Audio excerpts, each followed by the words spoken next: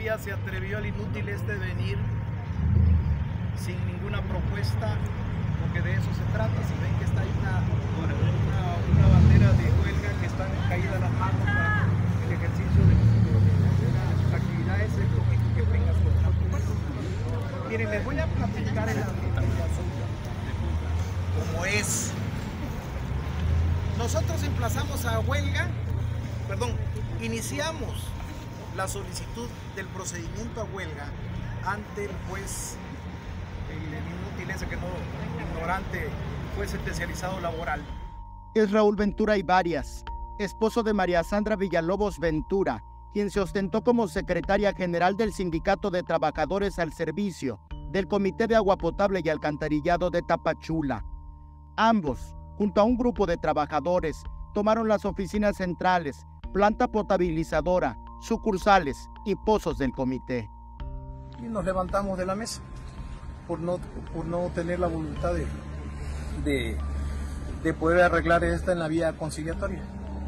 Y ya está ahí. Mm, Se levantó la, la mesa de trabajo que pretendíamos. Sin embargo, la ley contradice los dichos de los mencionados líderes. El juzgado especializado en materia laboral Región 2, con residencia en Tapachula, Chiapas, no dio trámite al emplazamiento de huelga que solicitaron. El derecho no se les otorgó porque según refiere el expediente número 200, diagonal 2023, María Sandra Villalobos Ventura no exhibió el certificado de registro del contrato colectivo expedido por el Centro Federal de Conciliación y Registro Laboral.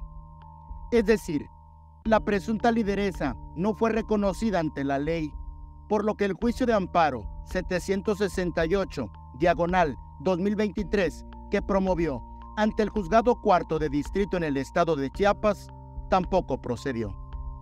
La verdad, no sé, mis líderes, no sé qué. O sea, usted no sabe ni por qué está en huelga y lo tienen aquí. No, se supone que por algo que, que necesitamos y que el pueblo necesita.